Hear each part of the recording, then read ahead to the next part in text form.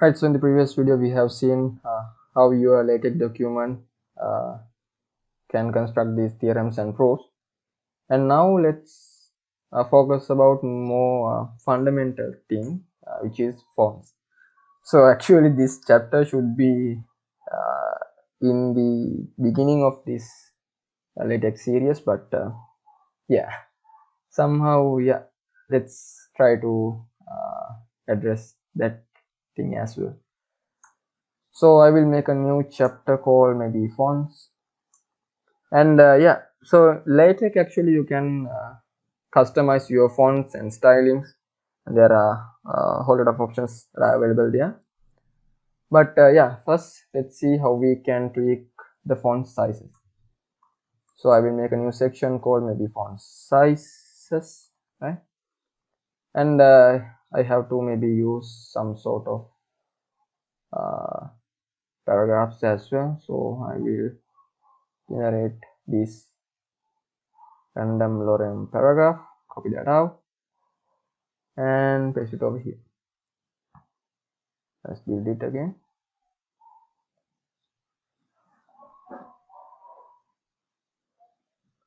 Right.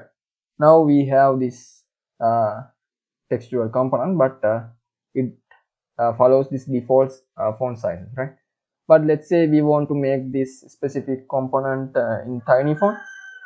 So all you have to do is uh, wrap the entire thing uh, with the tiny command.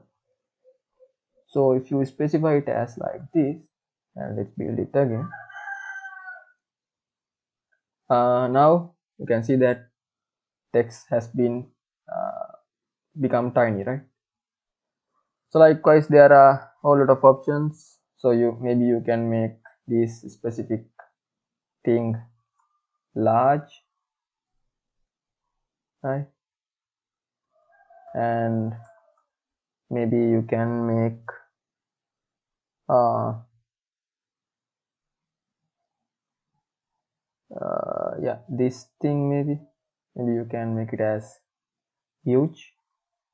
So likewise a lot of options are there you can uh, look at their manual and understand the rest of the options as well.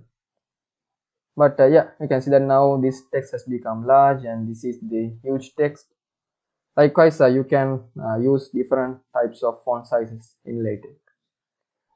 And uh, you can even uh, have different types of font families. So maybe let me use and let me create a new section called font families. And let's use this line. So yeah so first family is baby, uh, basically uh, the roman family.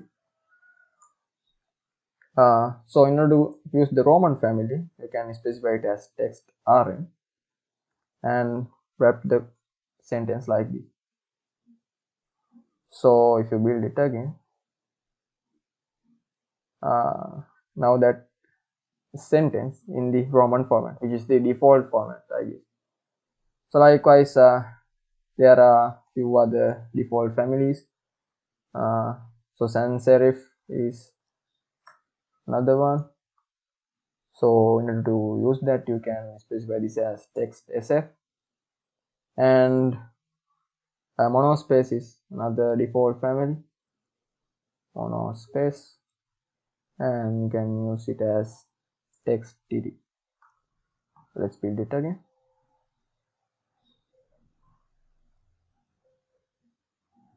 Right. Now you can see that uh, this is in the uh, roman format and this is the sans serif format and this is monospace uh, format.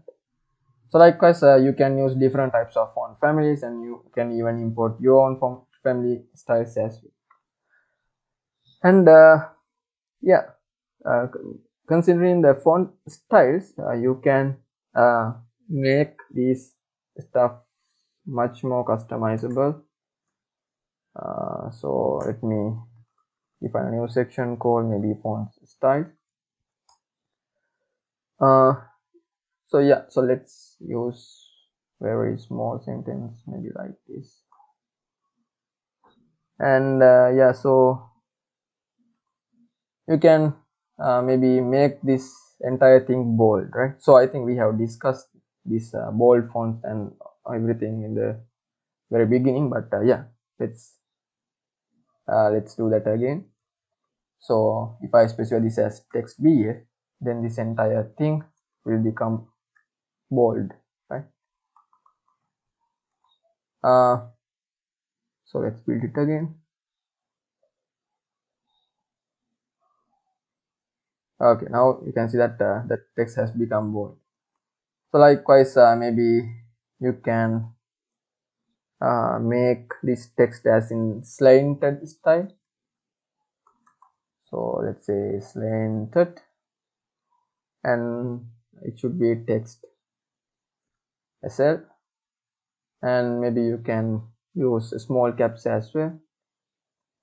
So let's say small caps and it should be text sc sorry uh, text sc yeah let's build it again.